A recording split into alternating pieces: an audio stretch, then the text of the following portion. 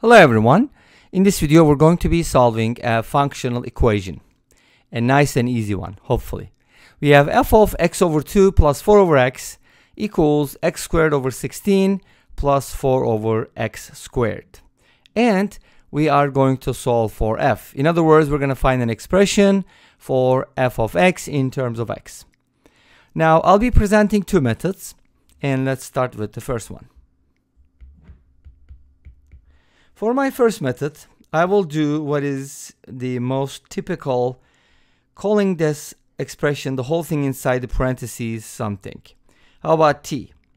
Let's call this whole thing t. Our goal is to find f of t in terms of t, then we can just change the variable because the variable doesn't actually matter as long as you use the same variable on both sides. So let's go ahead and see what this entails. x over 2 plus 4 over x equals t. From here, we should be able to solve for x. And then whatever that is in terms of t, we can plug it in hopefully here. So our goal is to find an expression for x in terms of t, of course, and then plug it in on the right-hand side. Make sense? And obviously, when whatever we find for x should give us t on the left-hand side. And we can check that too. So let's go ahead and cross multiply or whatever, you know, multiply everything by 2x. This is going to be x squared. When you multiply by 2x, this is going to be 8. And this is going to be 2xt. Now, since we're trying to solve for x, let's go ahead and turn this into a quadratic in x, like this. And if you don't see that it's actually quadratic, oops, I erased too much, then you can go ahead and actually look at it differently, like this and now it should hopefully be more clear. So this is quadratic in x, the square, the coefficient of x squared is 1, the coefficient of x is negative 2t. Now we can solve for x using the quadratic formula. Let's go ahead and use that. From here x equals negative b plus minus the square root of b squared, which is 4t squared, minus 4ac. a is 1, so 4 times 8 is 32. And now we can simplify this a little bit because 4 you can take out the 4 the square root of 4 is going to be 2, so it's going to be 2 times the square root of t squared minus 8, and everything is divided by 2, which is good because now we can simplify it and write it as t plus minus the square root of t squared minus 8. Now, could we get this result more directly? Yes. If you used uh, completing the square method, you would get that right away because it would basically give you something like this you would put the 8 on the right hand side. And then to complete the square, you need to add t squared to both sides. And then you would add t squared. And that would give you this. And then of course, this is x minus t squared, which then can be square rooted to give us two solutions with the plus minus sign. And obviously, it's going to be the same as these. So it's a little better sometimes, especially the coefficient of x is even 2t. I would just consider that even because it's easier to find then I would go with probably completing the square method. Okay? So that's the value of x, but there are two values. Which one should I use? The answer is it should not matter, or we don't care. Whichever you like. I like the first one, the plus sign. So let's go ahead and plug it in. Now, again, here you don't need to check that, but if you do plug it in, you should get f of t. Make sense? Now, let's go ahead and see what happens on the right-hand side, which is more interesting. This should turn into a t automatically. And on the right-hand side, I need to replace x with this, right? So let's plug it in. So that's going to give me x squared, so t plus square root of t squared minus 8 squared over 16. And then here plus 4 divided by the same thing, right? All right, we're going to have to square some radicals in you know, make a common denominator, so on and so forth. Let's do it. If you square this expression, the radical expression, you'll get t squared plus t squared minus 8 plus 2ab is going to give you 2t times this. All of that is divided by 16. And here, you're going to get something similar. Now, at this point, or before, you could have multiplied this by the conjugate, but since it's a square, it's going to be the conjugate squared. Make sense? And at the bottom, you'll probably get a simpler expression. So let's go ahead and do that for the second part. There's going to be a second part here, which I'm actually uh, not writing at the moment, but you know, it's just going to come from here, dot, dot, dot. Let's go ahead and work on this separately. So I can go ahead and take that, and I would probably just multiply by the conjugate squared. So it's going to be t minus the square root of t squared minus 8 squared. And then, of course, I need to divide by the same thing to keep it balanced, right? Now the numerator is just going to be a jumbo mumbo, 4 times that square. We can expand it and multiply by 4.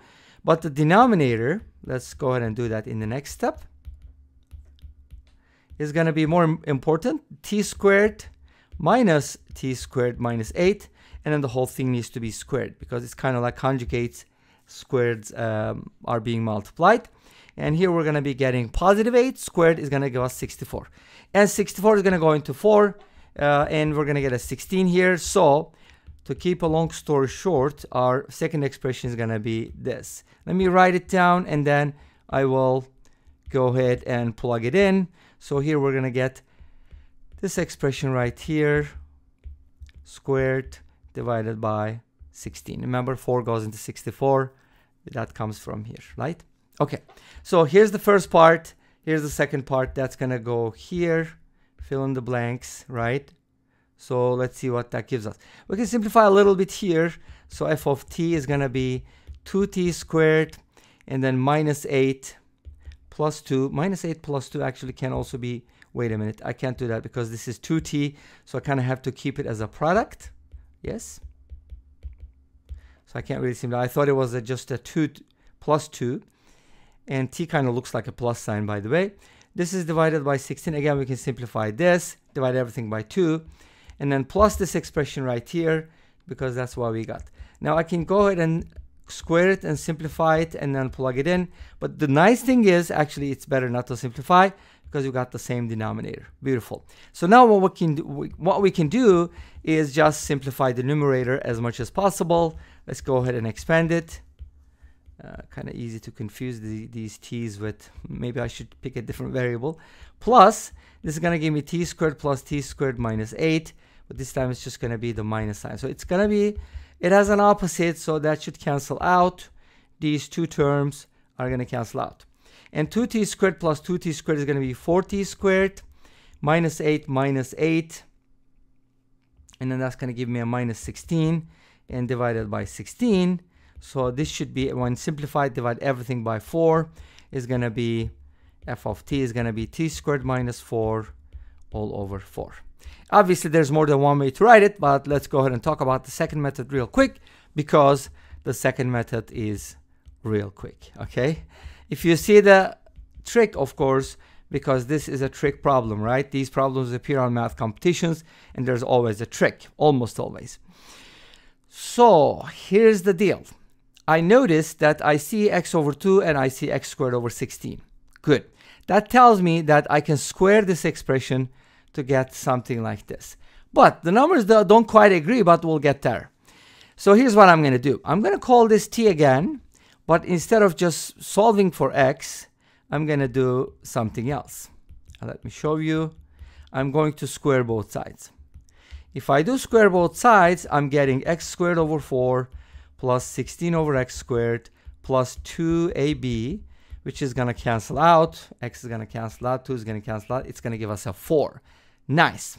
Now notice that that did not give me the expression on the right-hand side, but if I multiply this by 1 fourth, I get that expression. Make sense?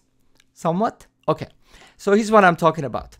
I can basically handle it this way too, by the way instead of um, multiplying by one fourth, I can actually factor out, factor out a one fourth here. Let's do it. So this is going to be x squared over 4 plus 16 over x squared. You notice that here I factored out a one fourth to make my expression on the right hand side look like this, and it does look like that. And that is equal to t squared. Beautiful, right? So what am I getting from here then? Oh, I, I'm forgetting the 4 here. So let's not forget that 4. So that should be, let's make sure we got that. Okay. This is actually not the expression that I have, so I should probably write it this way. It's better if I fix this a little bit. This should actually be equivalent to this. So let me fix that first. Okay, here's what I have. So my equations are correct, and there's a 4 here. Let's not forget that. So now, here's what I have. f of t equals this, which is 1 over 4 times this expression. And that, that expression actually can be written as t squared minus 4. Make sense? t squared minus 4. Because I subtracted 4 from both sides. I hope this was uh, explanatory, self-explanatory somewhat. Okay. And that should give us the exact same solution. And yes, it did. Awesome. Great. Well, this brings us to the end of this video. Thanks for watching. I hope you enjoyed it. Please let me know. Don't forget to comment, like, and subscribe. I'll see you next time with another video. Until then, be safe, take care, and bye-bye.